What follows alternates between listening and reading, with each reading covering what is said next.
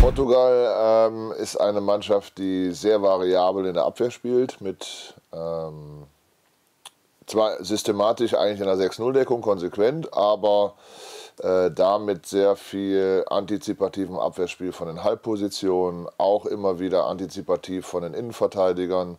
Also sehr flexibel, äh, stören Pässe, stören den Anlauf, um immer wieder auch aktiv auf den Angriff äh, Einfluss zu nehmen.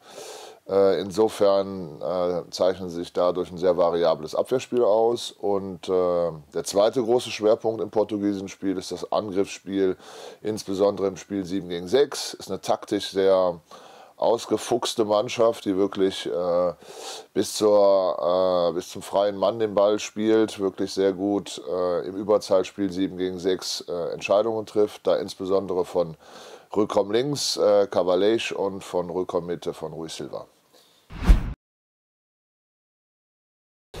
Nee, ähm, ich finde, das ist eine mannschaftlich von ähm, Leistungsbild her sehr ausgeglichene Mannschaft. Nicht mit dem äh, Superstar. Ich weiß auch nicht, ob einer von den ähm, von den portugiesischen Handballspielern Unterhosen verkauft. Ich glaube, die beschränken sich auf das Handballspiel, das machen sie sehr gut, sind taktisch wirklich alle gut ausgebildet und ähm, zeichnen sich auch durch eine äh, wirklich sehr ausgeglichene äh, Verteilung der Spielzeiten als äh, komplette Mannschaft.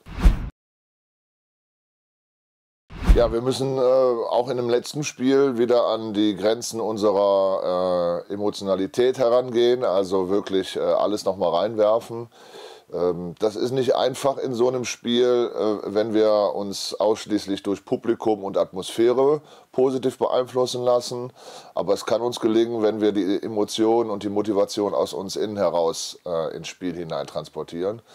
Und das wird der Schlüssel sein, dass man da äh, entsprechend äh, emotional an, an, an, dieses Spiel herangeht, mit dem Bewusstsein, dass es eine tolle Vorbereitungsmöglichkeit ist, auch auf unser Qualiturnier in Berlin.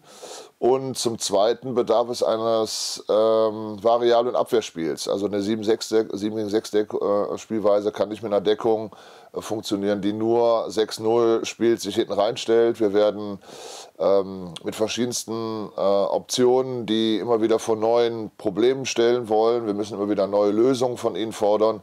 Insofern wird es auch äh, an, die, äh, äh, an die Abwehr entsprechend ähm, gerichtet sein, mit Variabilität und Flexibilität zu agieren.